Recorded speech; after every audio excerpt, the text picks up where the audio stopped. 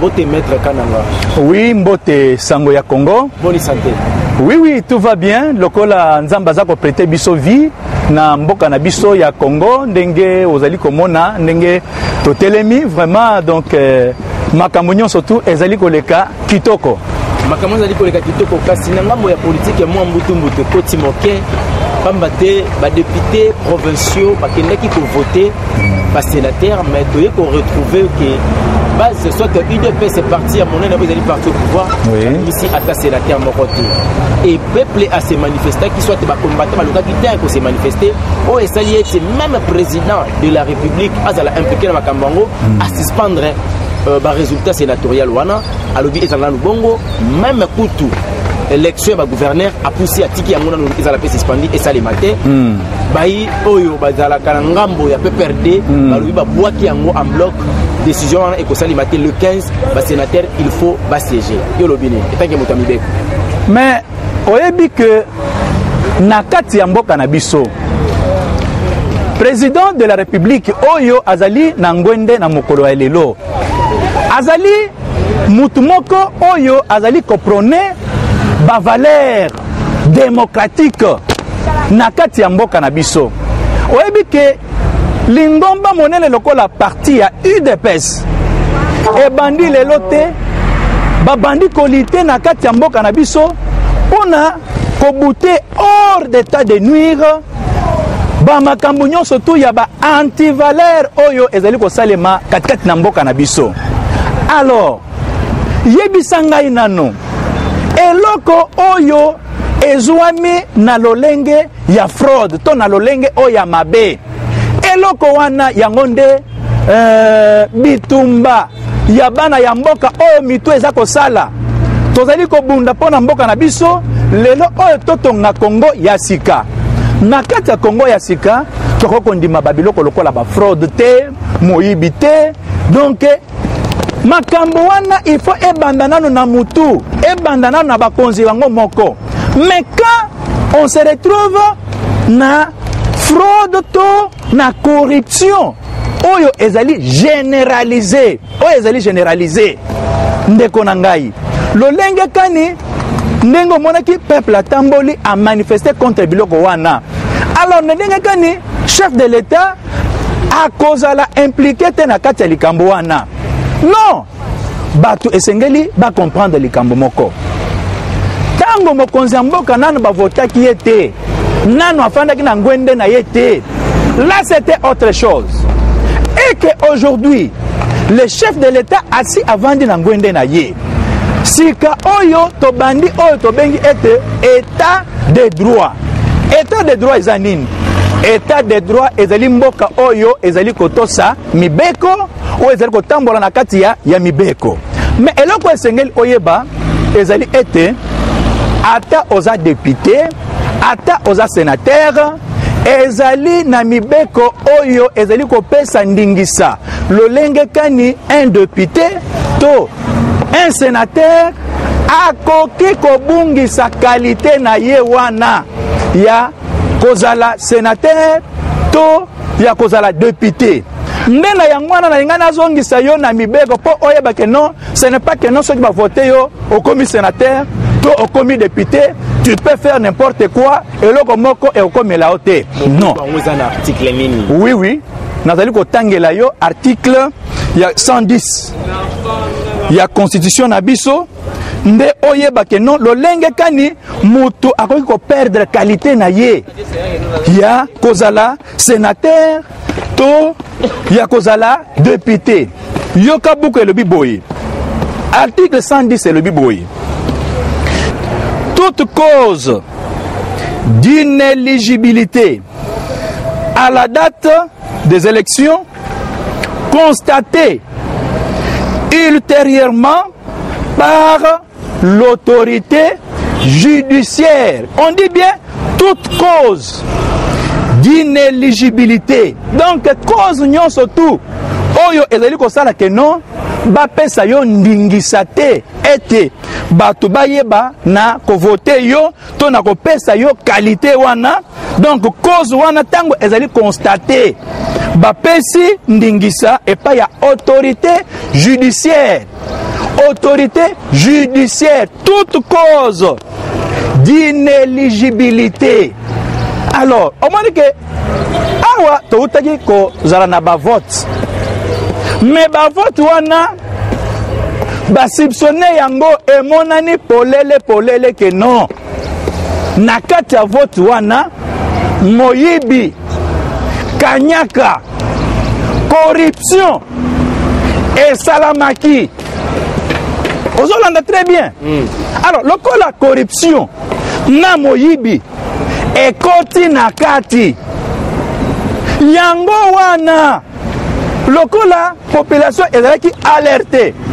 omoni bato batamboli mboka mobimba egangi na mbujimayi mpe kuna kuna bato babomani tout ça et tout ça Bandako etumbami, mon frère ami, zela nano na silisa po na limbolela yo yango malamu malamu. Ba continuer balobi ke euh,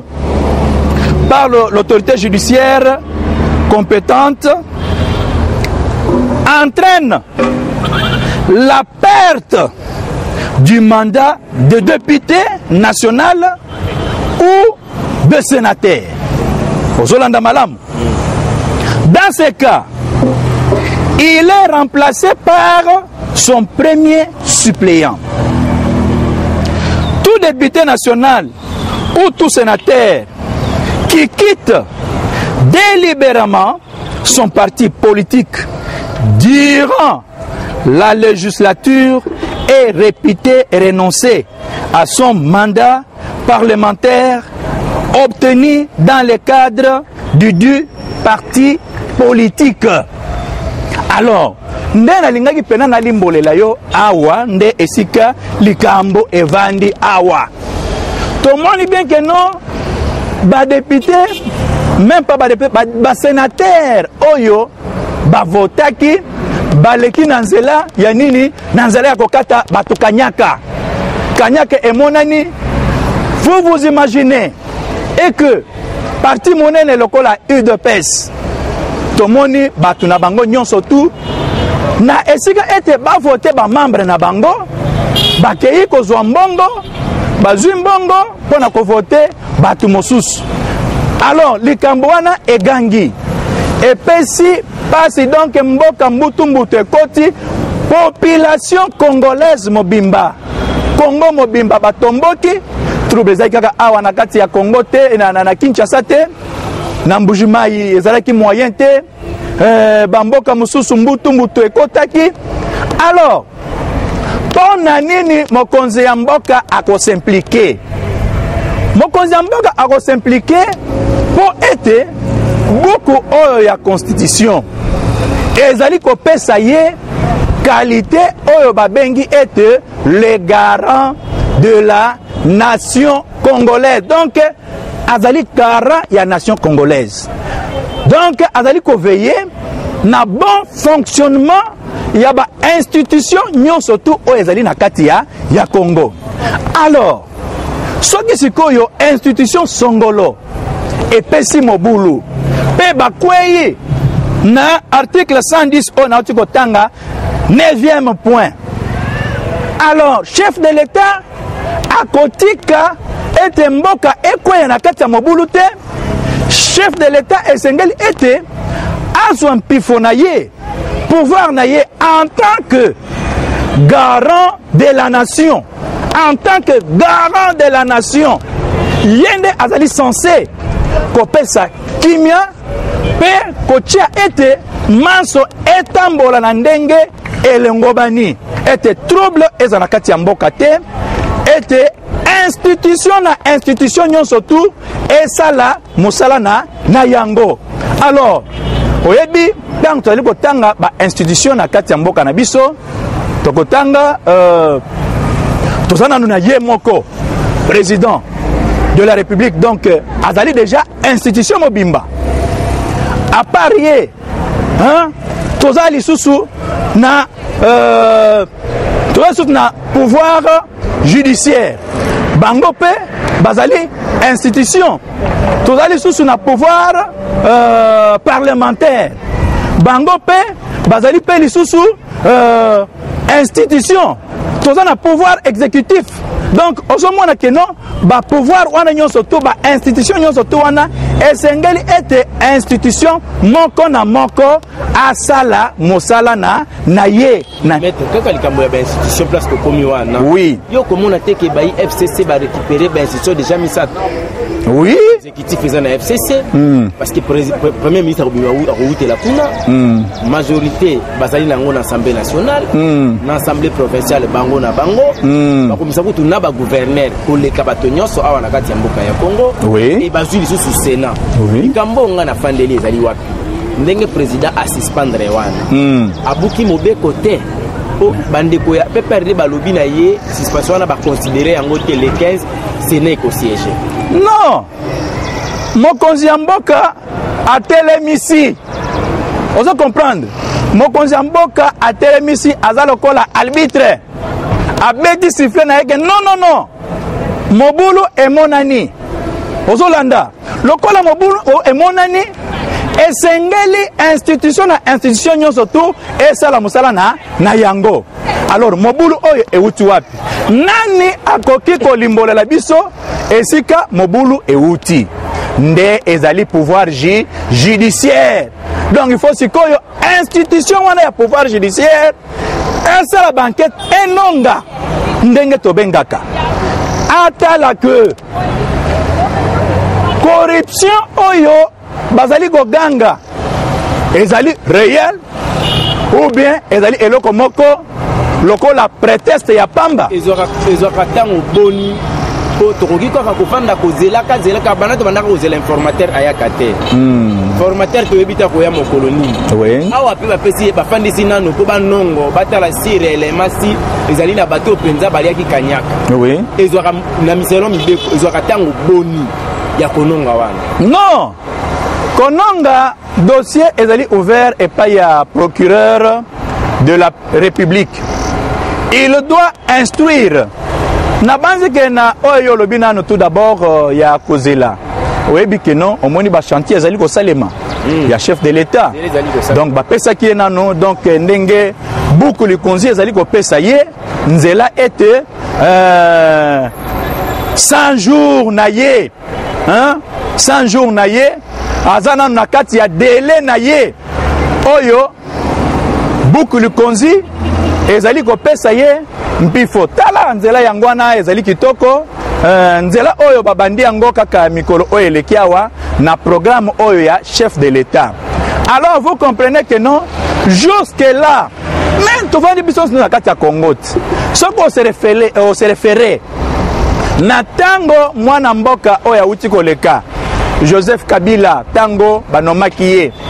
azwaki mpe temps oyo ya kosala makambo oyo azwaki mpe temps oyo ya konome informateur ewumelaki lolenge wana eza lolenge ya malamu to ezalaki lolenge ya mabe non eza lolenge kolandisa mibeko buku likonzi ndenge ezali koloba ezali kopesa eza kopesa dele dele wana soki nanu ezali viole te nous sommes toujours dans les bons donc eloko ya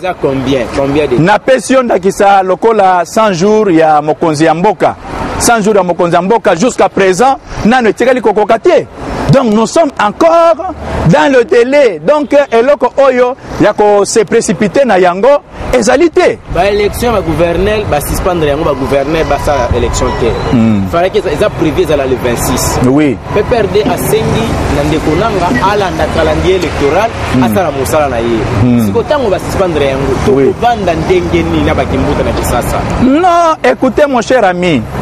oyebi bandeko na biso tozali koyebisa bango boye mboka oyo eza na bato bakufi basopi makila na bango mpo ete mboka oyo ebonga towuti nano na dictature oyo ezalaki ya makasi ya monsieur le maréchal mobutu bapratike ya moyibi bapratike oyo ezalaki kobebisa mboka tozonga na kati na yango te peple na biso abundi akufi alors Lelo oyo na moi ya lelo, ntango ozali komona bandeko na biso ya pprd me nzela yango oyo bazali kosala yango pourkui me soki tozalaki mboka moko oyo ezalaki serieux nabanzi ke no lokola baelure président boye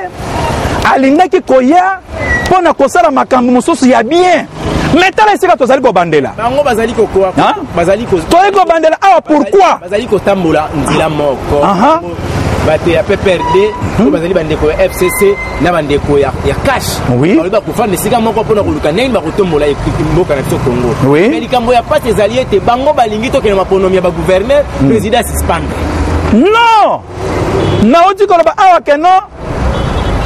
bazongela nanu image na bango ya kala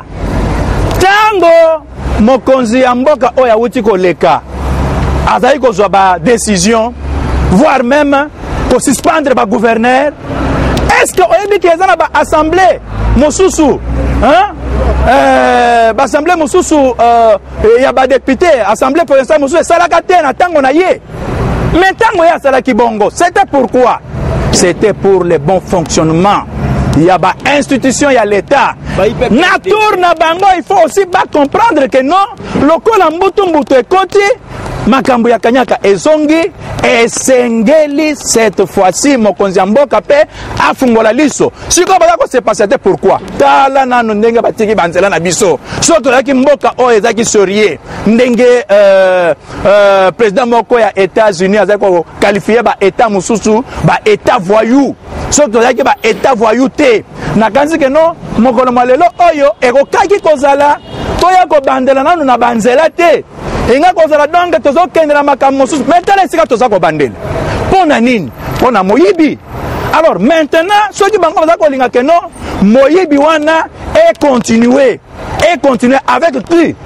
alors soki coalition ezalaki ezalaki coalition ya moyibi te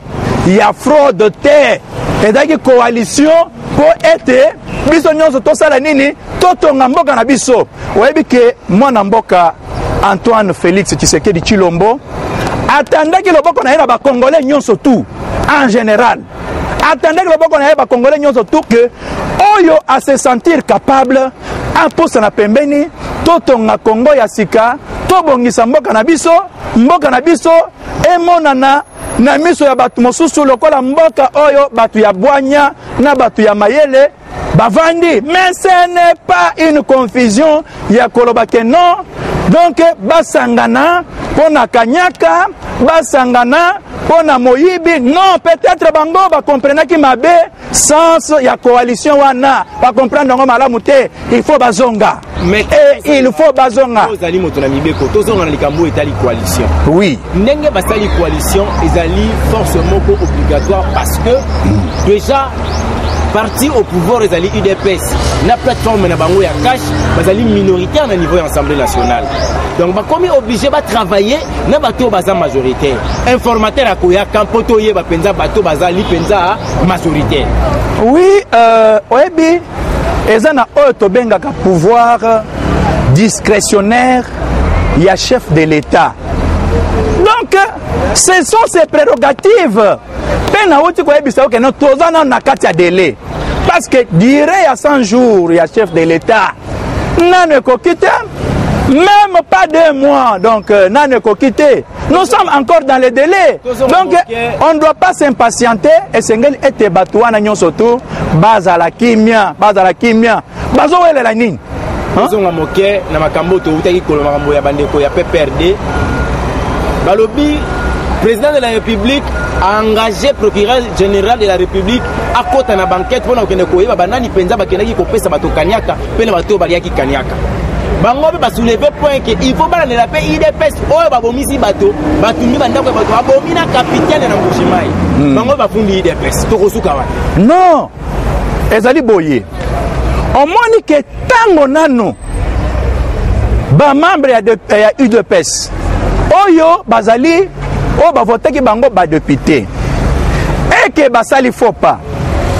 tala parti oyo ezali responsable parce que nanu etikala kosalema te na kati ya mboka na biso na ntango ya kala badepute ezala baministre